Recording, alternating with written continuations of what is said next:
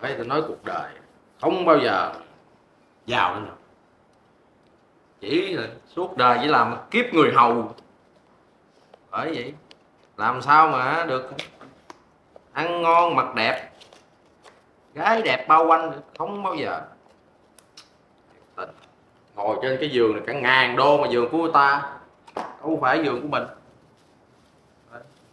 Món quà này nè 35 ngàn chứ ít ỏi gì.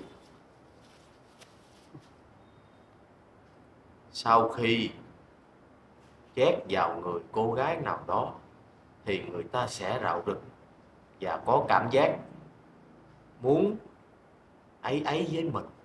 Dữ vậy ta? Không biết công dụng Mình cứ tin là có đi. Dù sao cả đời cũng được. Nhiều khi này hên hên xui xui được làm sao? À chị ngồi chị chị kiếm ai à Tao tới kiếm chủ mày kiếm ai Bả đâu rồi? Bà đi đâu ai biết. À, bình thường bận đồ đẹp sau nay qua bận đồ xấu dữ vậy? Ê Tao tính ra thấy mày hơi bị vô duyên luôn á. Duyên gì? Mày là chủ nhà hay mày người ở ở đây? Thì ờ, người ở của chủ nhà. Rồi rác rến không dọn đi. Xài xong cái xả dưới là sao vậy? Giờ có Vừa mình. mập vừa vô duyên nữa. Có Bận em. đồ kìa thiệt á con mình em ở nhà thì trước sau thì em cũng phải dọn thôi chị khéo lo á Cái chân thì ghẻ không? Ngồi gãi hoài Còn bước xuống giường người ta đi.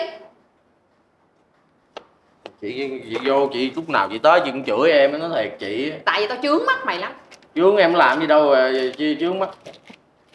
Chị bởi vậy mày tính ra hôm nay chị mập đó nha. Mày nói một tiếng nữa tao tán như mặt mày đó. Tái cái gì Bước thì vô duyên lại. Ta nói sự thật ta nói thì con gái có tiêu tương ta bận đồ. Em thấy người ta bận đồ cái bộ đồ này trên mạng đăng đẹp thiệt đẹp chị bận vô. Thấy gớm mập chết mẹ hả? Có có đẹp cái gì đâu. Nè mày hỗn vừa vừa thôi nha. Mày nói tao mày nhìn lại, mày có nhìn lại cái thay của mày không? Em là kiếp ở đợi thì em bận cái gì cũng được. Này nó xấu nhưng mà nó sang. Đó con Xấu chị. nhưng mà nó sang. Đúng rồi. Ừ. sang chứng tâm lý á mà tao không hiểu tại sao hả? Thì con bạn của tao nó thuê mày hoài gặp tao tao đuổi mẹ lâu rồi đó. em là em trung thành em nói thiệt chị cuộc đời em trung thành lắm. Xong rồi mày nói nhiều mày im miệng mày lại người ta cái đi. Kiếp ở đợi của em. Im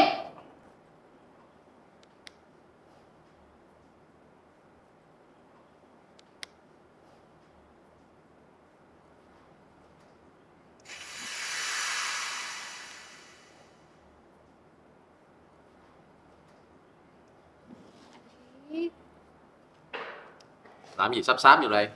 Em thích anh cô và cô bích cưỡi tôi. Anh biết làm sao không? Mỗi lần em qua đây không phải là em chửi anh đâu mà em mắng yêu á mắng yêu? Ừ. thấy chửi không? Mà sao mấy lạnh gì mà em nóng quá à? Anh giúp em ơi nóng quá à. không tôi là thiệt tính thấy thiệt đừng có sáp vô người tôi.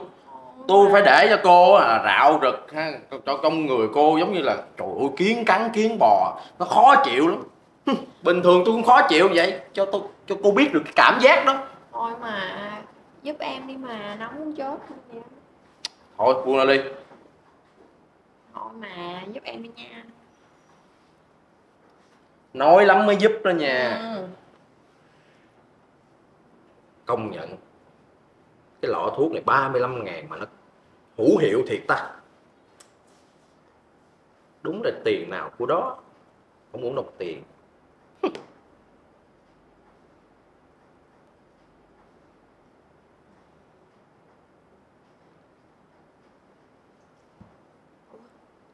Sao tự nhiên mình nằm đây mình ngủ luôn vậy trời.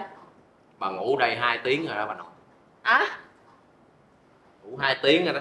Bà qua bà hả? kiếm cô chủ tôi mà bà qua đây bà nằm không ngủ không? Mà sao tôi nhức đầu quá ta? Ủa mà chủ mà chưa về nữa hả? Chị không nhớ gì hết trơn hả?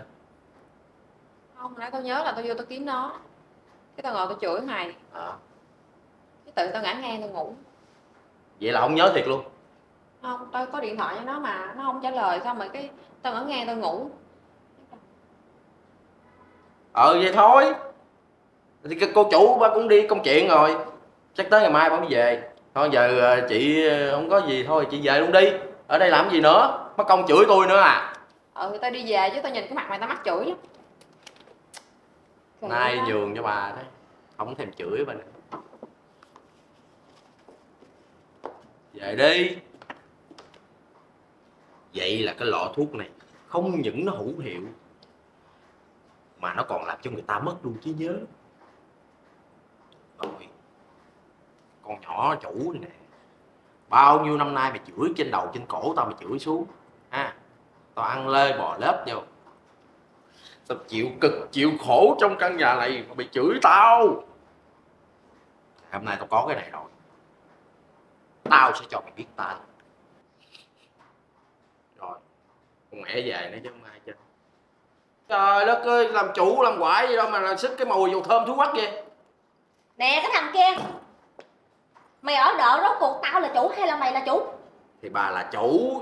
Nhưng mà bà là chủ bà phải bà xài cho nó sang trọng. Bà mua cái đồ mà, mà mấy chục ngàn. Bà coi thúi còn hơn cái mùi dầu xanh của tôi nữa tôi nói thiệt với bà đó. Mày làm ơn mày bớt vô duyên lại giùm tao có được không vậy vô duyên cái gì tôi nói thiệt cái đó là sự thiệt. Ủa mà nè Mắc cái gì lên cái giường này ngồi vậy? Rồi không có đi dọn dẹp nhà cửa đi Tùm lum hết à? Nhà cửa tự tự dọn cũng xong. Bình thường bà đi công tác thì tôi cũng ờ, ở nhà tôi cũng leo lên đây tôi nằm ngủ tôi thử giường coi nó có chắc hay không. Để bà về bà nằm cho nó thoải mái cũng dọn dẹp bà thấy đẹp không? Như ông hoàng vậy đó. Thiệt tình cái gì cũng bắt bẻ hết. Trời đất ơi Tao nói thiệt với mày ha Tao mà không để mà ông già mày á Là bạn của ba tao á Thì sức mấy mà tao cho mày ở đợi nhà tao. Thiệt luôn á. Mà ông già bà cũng xui tại hồi đó đi lính ba tôi cứu. Đó cho nên là tôi mới vô đây tôi ở đợi phụ bà chứ không có là dễ gì tôi ở. Sao- Trời ơi thiệt à Tao không biết kiếp trước tao mang cái nghiệp gì nữa. Sao- Chết đi à. Mệt quá cãi lộn với bà mệt quá ngày nào cũng cãi có bà ở nhà. Tôi đi làm việc. Dọn dẹp đi. Ê, ê khoan khoan. Gì hồi nãy ờ, lúc bà đi có con dân chân ghẻ nó vô nó kiếm bà. Ta vậy nó chân ghẻ mày. Chừng nó vậy dạo này nó nó sức nó mới bớt thôi. Rồi nói đâu? Dạo này mập lắm nghe. Dạo này nó mập lắm nó mập ú à. Bà chơi nó coi chừng ngải heo quật bà mới mốt mập như nó là coi ế thấy bà bà đó nha. Thiệt. Rồi cái thằng vô duyên dưới ta. Chứ làm sao? Tôi nói sự thật. Rồi nó kiếm tao làm chi? Nó kiếm bà nó mượn tiền. Nó mượn bà 5 triệu hồi nãy tôi lấy tiền ứng của tôi là tôi đưa cho nó 5 triệu rồi. Giờ bà có mà đưa tôi.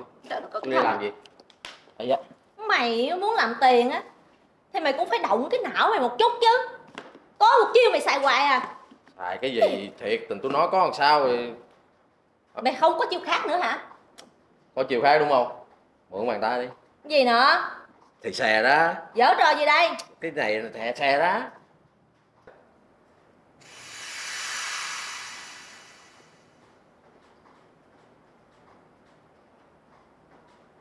Triết ơi Triết có mệt không? Triết ngồi xuống đi.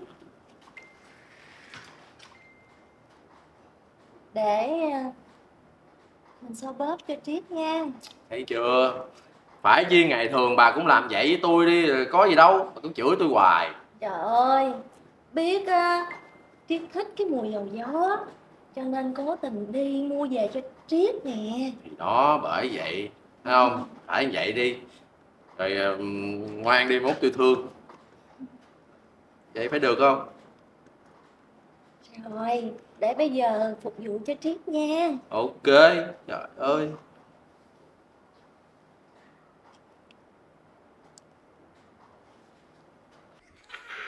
Come on, baby. Ooh, sa. đời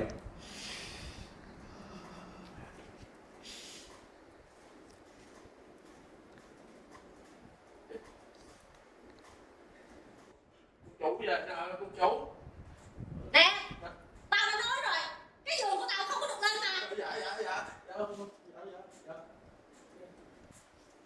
tao nói cho mày nghe hồi nãy tao tới tìm mày không có mày ở nhà tao đợi mày biết nó nói gì không cái đằng mày tặng tao nè nó nói là tao bận cái đằng thấy ghê xấu rồi nó chơi tao mập tao nói thiệt cái kẻ ăn người ở trong nhà mày càng lúc càng khổ nhất là thằng này tao ghét dữ lắm xấu xấu thấy không thiệt đó thấy chưa? Mày thấy mất dạy chưa? Trời đất ơi dẫn chứng nào là có à? Thôi cô chủ đừng chửi em nữa em đi làm nha đi làm việc hai hai chị em ngồi cứ nói chuyện nhau cho tại cái bây giờ tao không biết nó là chủ hay mày là chủ nữa. Trời ơi, thật sự tao cũng chịu hết nổi rồi nè. Thiệt.